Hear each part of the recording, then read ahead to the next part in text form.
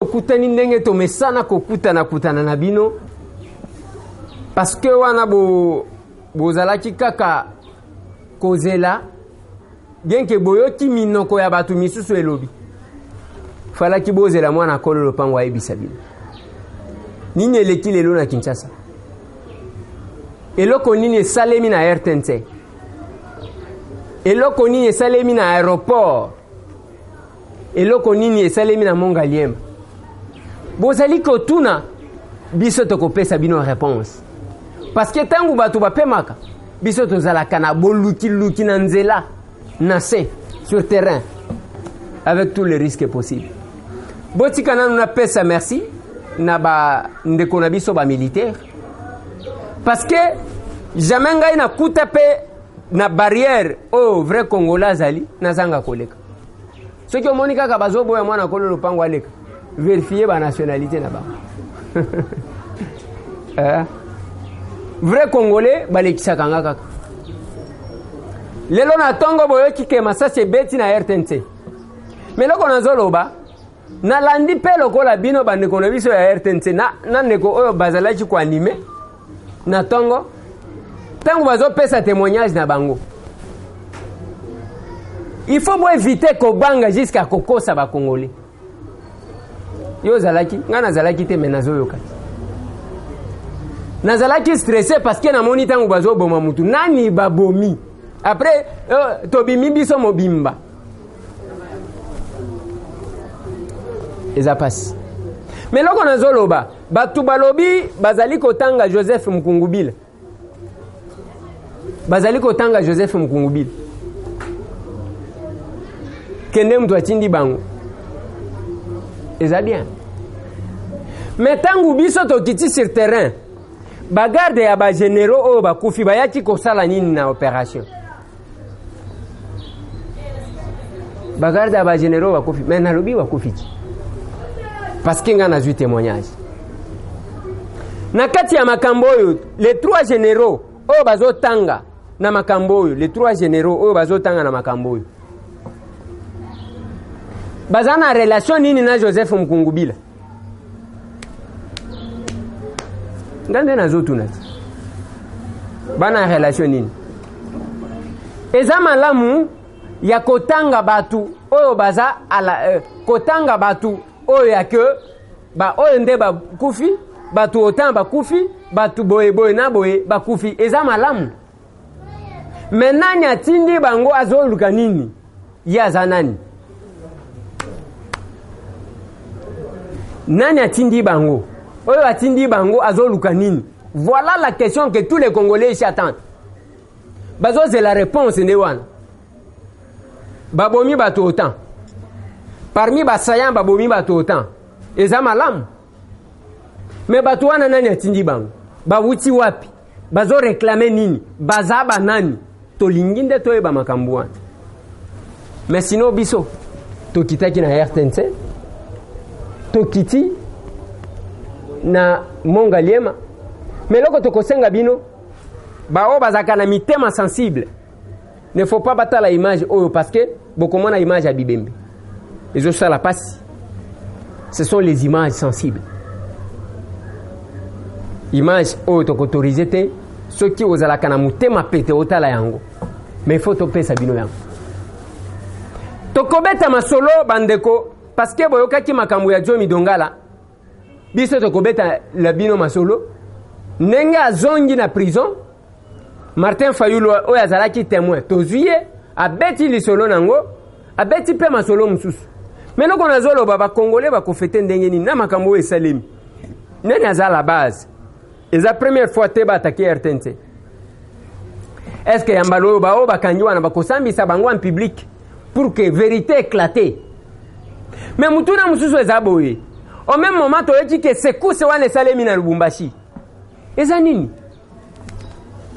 eh? ngai nalobi eh? bagenero oyo bazali kotanga ke bagarde na bango bakufi na makambo oyo baza na relation nini na mokungubila epuis bango mpe bazo reklame nini bagarde na bango na bachauffeur na bango bakesala nini bolanda ndenge tosololaki na bandeko na rtnc nsima na yango tolakisa bino ndenge tokoki kosolola na bandeko na mongalieme bolanda bandeko balandi ndenge toyebisaki bino ke biso tozalaka bana misala na bino parceke bino bato bozwa biso na mosala bino nde bofutaka biso boyokaki ke depuis ntongo masasi ezali kobeta kote ya rtnc yango toye rtnc yango oyo nini eleki na rtnc bokoyeba yango banani babeti masasi bokoyeba yango babeti yango mpo na nini bokoyeba yango yango toye awa mpo na tokoka koverifie towuti bisika towuti bomoni malamu mpo na kopesa bino ville mobimba bomoni ah, badispositif kote ya grand hôtel na boulevard ti awa na rtnc na chaîne nationale tokuti bandeko batondi awa tolingi tozwa quelques témoignages ya makambo oyo eleki awa bapesa biso baprécision ya nini esalemi nini bayoki nani azali nsima ya nini Mbote mwana mboka. Mbote na Roger. Ndeko tokuti bino botondi awa na RTNC eza likambo nini? Toya awa mpo na baétranger moko bayaki awa ibare na kati na mboka na biso awa bayaki awa mpo projet na bango ezalaka baboto yanano awa baya bapublie awa na barisite na bango baza nango projet mais hmm. simbi te mpo tona armé mwa makasi yango tolongi bango tu baya bibembe na minute oyo mais bayaki na bacarte moko boye na basupporter ya football kaka carte ya mingi ya vita ya bakomi ya bao moye kobalanda bango bien eza te boa biyaka bato ya football bakota na kati boye bilo minene ekobima na kati hmm. donc bango sikoyo bafuyaki bango na ntre wana te biloko ya minene ebimi ndeni donc wana ma nde tokoyeba te ah. we bolobi baza ba étranger nini elakisi ke baza ba étranger bilongi na bango tout ah. sotali pas aspect physique bomonaki boyebi même pas que bayaki bayaki kosala nini exactement boyebi yango te bayaki awa mpo baya kopiblie bayaki na moto yango bapiblie ye comme ke abima président de la république moto yango kombone nani boyebi te oyebi kombone nini oui bapesi komona ye te nani ndeko mbote mwana mboka eh, mbote mwana mboka ndeko likambo nini eleki awa na rtnc bon biso toza ba resident na kati ya lingwala tolamuki na tongo comme d'habitude toyoki coup de bala liboso bon tellement mpe toza pembe na bakan tokompona ye te toyoki bon comme bomesani toke continue tobimi sur 24 totala boye bayebisi biso ke bazotake rtnc bon toyoki bana mura mosusu bakoti ipc bamosusu bakimi batiki poste heureusement heureusement bapeme na biso oyo ya awa avant intervention ya bamura mosusu baya bapeme badeploye tous les quatre coin ya rtnc babimi basali intervention basali mosala oyo faye basala tomoni bibembe sur place biso mo tomoni bibembe mutu te mutu te mutu te akosa biso biso mo tomoni bibembe mapinga na biso ya mboka basali vrima mosala mosala eleki malamu ouais. bon bomoni bibembe ya bato boni epi bato yango balobi ke bauti wapi parce que question etikali wana tokoloba makambo ya bibembe tokoloba nombre ya bato me bato yango bauti wapi baza banani baza nsima ya nani bon motuna na yo otuni yango kitoko mingi bato oyo wana d'après ngai baza ba étranger ba rwandais baza nzoto mikie nga kutu naleki bango na mwa masi mm. soki otali mwa figure na bango okomprendre déjà oyo aza congolais oyo aza congolais te ba, ba, en plus baza na double polo mm. likolo batie pembe na se ya ble moko onga namoni bebembe babeti ye bale awa etoboli ye aza na saki mitsopo libanda na arme arme wana ezalaki bon pistolet ouais. wana ezalaki na porte ya mopanzi boye ouais. trois bibembe ezalaki mopanzi wana koto mpe mm. bibembe ezalaki me ti jefan ele eloko ti bango bazalaki mwa ebele bazalaki bakoki kokoma plus de ba vingtaine voilà euh, mwana mboka nalingi obakisa mwa moke parce que il faut nasala déplacement ngai nakobakisa boye nazalaki présent te mais bato oyo bazalaki présent bayebisi biso ke bato wana bayaki na 207 hmm. bayaki na 207 bakiti liboso wana juste na port ya guerik wana bakiti wana liboso wana bazalaki na banzete baminduki oyo bango basali na bango baechange de tire eza teke baye na yango hmm. donc bazwi yango mpa basoda wana donc soki babeti nzete basengi yo munduki opesi oh. eh, donc wana nini kisi ah. tokoloba nini eza kisi donc okoloba nokuta eloko te opesi na malembe soda moko atémoigne awa ke abetaki mwa masasi ezwi ye te azwi munduki na ye te zelo apre abeti ye ezwi donc elakisi ke baza na bakisi yango tolobaki na gouvernement na biso vraiment asala effort ya korenforce ba sécurité parce que eoyamba liboso te oyo eza deuxième fois eloko aboye esalama erik lengi mpe alaki kaka boye tia akomi nzila alimwa lisolo ebunga lelo osusu esalami tokosenga vraimen balandela bayebaka eza augiste eza nini e pourkui kaka eza kose repete pi bazoya bakoti ndenge nini baza pa meme ndenge balobi tolandi mende na tv awa ah, bayeba mais 23 vraiment baye baokipe eloko monene oyo nde eza boye mpe babomi mpe mpa bapeme mpe bakufi bana mungwa mpe mosusu bakufi donc kaka bango tino bakufi donc eza baperte moko vraiment ya bien te vraiment donc baluka vraiment barenforce mpo makambo ese répéte esusu te mpo toyoka o oh, défense eh, mais oyo eza défense te ti rtnc boye radio nationale soki bato bakoya kotaki yango boye eseke eh, eza baza pas même centaine baza 23 nde tolandi na tv balaki 23 baoyo bakotisa Merci. Euh, papa ezalaki barebele nde bakotelaki biso quand meme mosala esalami bakateli bango yo ozalaki wapi ntango bakotaki bakotaki bakotaki biso na kati ngai nazobima na kati ya rtnc eh, nakutani na bango na nzela ngai sikoyo na bimi hmm. bakoti bazalaki ndenge nini bazalaki na bateni bazalaki na ba arme bazalaki ndenge nini bazalaki na arme te bazalaki na tenu te bazalaki tenu civile ouais. ba jean na bapolo ouais. na bamachete na bambi mm. sikoyo ntango bakoti basali ndenge bakoti na kati ntango bakoti na kati bayaki brusque toyebaki te tomoni ka bato bakoti biso tozalaki kuna na kati nde tobimelaki boye biso nga nakimaki nde masasi ebandi masasi ebandaki ebandi kobeta hmm. alors ntango masasi ebeti awa balobi ke basayan ba boni bakufi epuis oyoki ata sango moko te yake bato yango bawuti wapi baza banani te nayebani te bato bauti lola nayebani te merci beaucoup euh, papa oza na mwa liloba oui c'est-à-dire que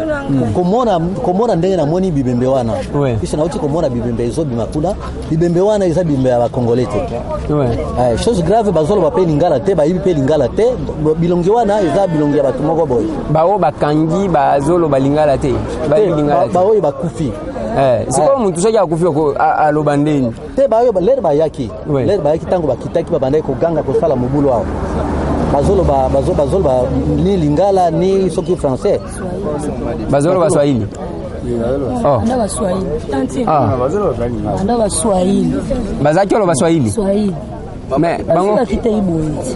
ah, mama yo omonaki bango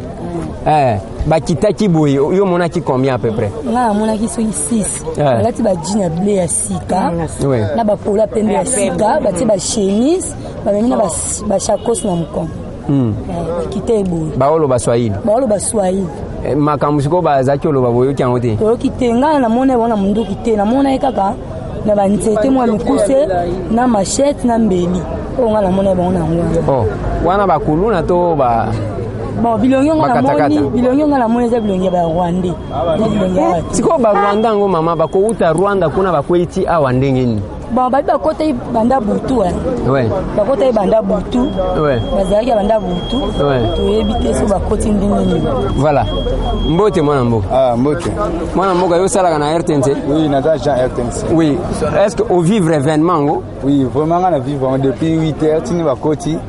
Ouais. bayaki na 207 Ouais. bayaki na 207 presque euh, mibale mm. moko batemi kota pompe essence ya total moko batemi kota entré ya monene mm. bakoti wana lokola neti baétudiante balati bajine na bapolo moko ya pembe mm. bazalaki bamisusu bayaki na minduki bamisusu bayaki donc na banzete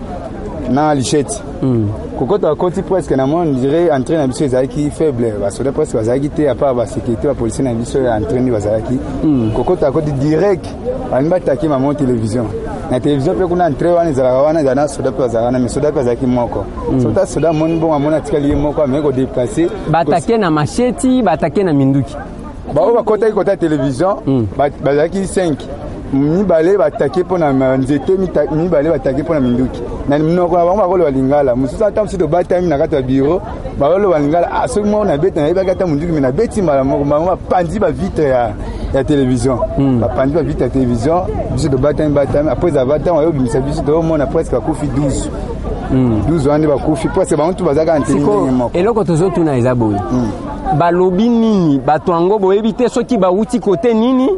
baza banani nani atindi bango boyebi te bon mpo na secret wana nga aza jean rtnc nayebisi place bawiti tokangi moko wana alobi mais debat television nakoloba yango te okoyebisa ngai na lito ya ok merci beaucoup mama tokosolola nayo moke Oui, mbote mama bato batondi lelo na rtnc lokola bato bazotala sinema mm. ah, likambo yango yo oyoki yango ndeni biso mpe tokamboka tozala na ndako tolamuki tosokola tokiya masasi nga nayesi mwana nga masasi mwana bio te bapetane bapetane te masasi yo mabango mpe ekoyinda tomoni mpe bato mokima biso tokimi ntuka hmm. esali biso somo makasi po ndenge toyei kovivre yango yango te bato wana bakangi bango yango toyeyaki kote oyo koverifie ke balobi bibembe deja bamemi eke deja d'accord mais tomonaki moko batie na kati ya jipe ya bamour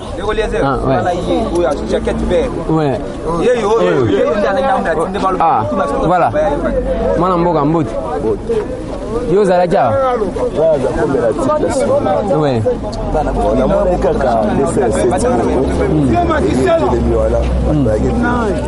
ntango bato bakiti bakita liboso na mbanda bakiti namoni batendesi wana baza kosali mwa cercle moko baza kosala soki ninga namonaki cérémonie ya moi baosala ntongo ntongo baosala na kipeto basali cercle ntango bakiti basali basali cercle Oui. Basali cercle na moko azalaki mokuse par rapport na bango nyonso ntango basali cercle siko biso toomela tipes wana na biso sikoyo moto oyo toomela ah, wana banani yango basali cercle oyo te bato ya liloba bayaka kosala misala awa na rtnc bato ya liloba bango mpe mpe tokipe te toobserve kaka makambo baosa parfois bazobondela mpo babanda misala bango ya kosala ya- ya ko- ya kosala misala bango wana après basilisi basali cercle wana batourne basalisi bazoloba loba nini makambo aloba biso tonoyoka te après esili baye kozwa nini moko ezalaki banzete bakabwani akabwani soki oyo azali mokosana oyo opesa ordre asali eh, azopesa ordre bakabwani bakebwe bakebwe biso kutokipe toyokali akaboli bo baposte kosala wana mpenza na entrée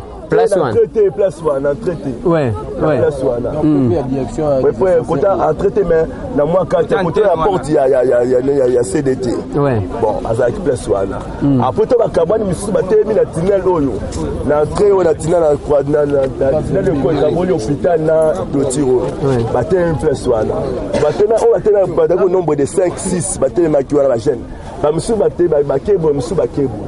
na minute ya moke totanga toomela tibu omonaka échange ebala ebandi tosundoli na nanani na batite wana omela wana ale biso toye tokoti na hopital wana bon oyo etikali koleka na libanda biso toyebi te mais tomoni kaka baechange ebala ebandi tellement ke bino mpe bobangaka liwa makasi mbangu ata soki bozoyeba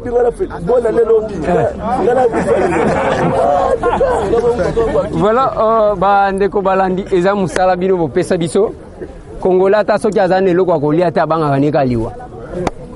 ata soki aza na eloko ya kofete na yango mpe te abangaka neka liwa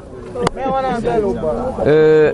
eza compliqué voilà nabanzi bouti kolanda wana tozwaki yango asho na rtnc lokola tozalaka bana misala na bino tolongwe kuna tokemo ngaliem toyeba nini ezali koleka je dis encore merci na bandeko na biso ya bamilitaire ba frdc parce que ntango bamonaka mwana kolo lopango batikaka ye mpe asala mosala na ye parce que eloko na kufaka na bato misusu eza nini batya yo soki parseke ndenge tomona motu ya, ya, ya gouverneur andre kimbuta soki chargé de mission abima garde atindika mwana akolo lopango epuis azolobanaka na français tu me connais eh, papa ozotuna na mwana akolo lopango tu me connais epuis na français tu me connais na français sikoyo eza nini eh? tu me connais na français eza nini nasepelaka na bino parce que ntango bomonaka nga quelque soit basokoto boyebaka ke biso bato tolatisaka bino nakuti batie bibembe deja na motuka moto ya kofilme azalaki lisu te autorisation ezalaki te me bapesi autorisation na mwana kolo lopango tozalaki na diema kisela na potre paul nde baexplike biso balobi na kati ya bato oyo bomoni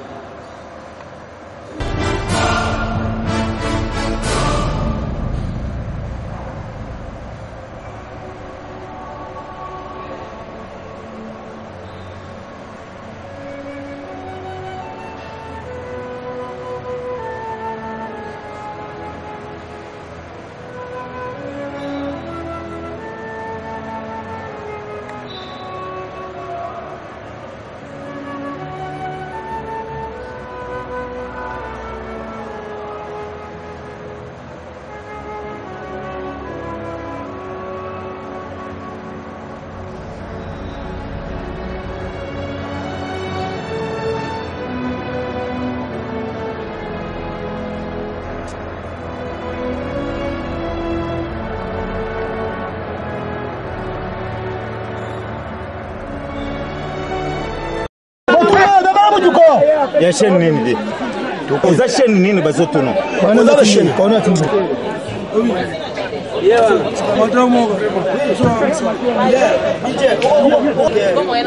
azokanga bien banyati bango mpe natina mituba nini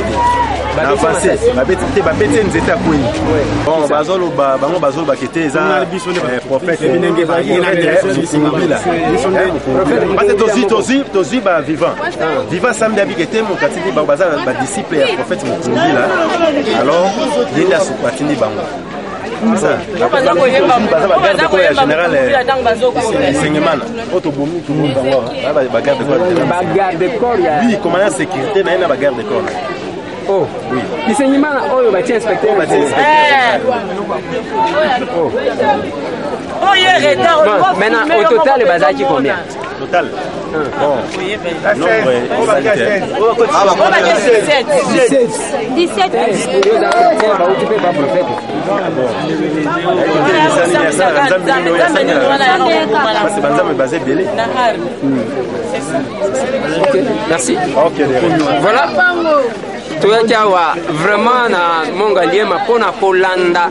epai wapi bibembe ezalaki parceke biso tozalaka lisu likolo ya lisu merci na colonel oyo akorde biso quelque soit tokuti bazobima na yango apermettre ke tozwa bango ata na mutu na bandi bozali komona baimage eza vraiment sensible me kongo mibale deja ebima profete mukungubila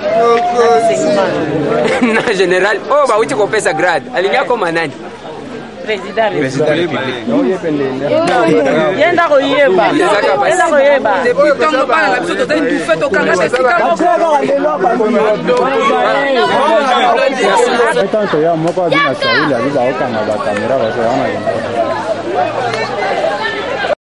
eza pasi wana nde bazolia lino pene baluka na ndeko wana militaire baluka ye pour ke baexekite ba ye nalobi e eh? ntan ya bablage wana esi esili yo obima champion mpo na koboma eh? obima champion mpo na koboma yo bomaka biso tokundaka ti yo bomaka biso tokundaka nde yango nalobi boye bato bazoluka moyen ya kofete bino sikoyo bato oyo bazoseme mobulu epuis quelque part la ngai nasengaka bino boye bosala tu bosambisa bato biso tozomona bango kosambisaka bato kaka boye biso tozomona bango te tozo comprendre te toyoki batangi nkombo ya joseph mukungubila oyo oh, libere libere bien ke bandeko na biso oyo bazalaki na plateau na baoyo bazalaki na mosala na bi te soki bapesi bango instruction ke baloba verité te o oh, ntango tovandi nayokaki mabe ntango namoni babomi mutu apres te babomi mutu te tobimi mibimba nalobi e eh? zala lezi ti eh? verite eza malamu koloba parceke yango moto esungaka biso ntango ngai naloba na bino ke ne compte pas sur bamonisco bacasque bleu ba brigade d'intervention compte sur les fardc nde bokomona botyaka ngai tembe ti après boye kopesa ngai raison tellement ke bino bozalaka reconnaissant te ngai moto ya liboso naloba na kinshasa ke Coordonnateur ya M23 aza na Kinshasa aza na église na, na, na, na quartier GB. Bozui signal ya RLTV pieko bokati. Après bopesi nga raison te. Complicité soki ya ndenge nini. Et puis kokosa ngo oyo eh, botanga yango na classe ou bien outaka na bafamille balien tolingi toyeba nani asali nini na makambo oyo nani atindi bato basala biloko wana parce que mutu kaka boye na mateur akosala yango te akende na rtnc ayebaka rtnc ale état major général na aéroport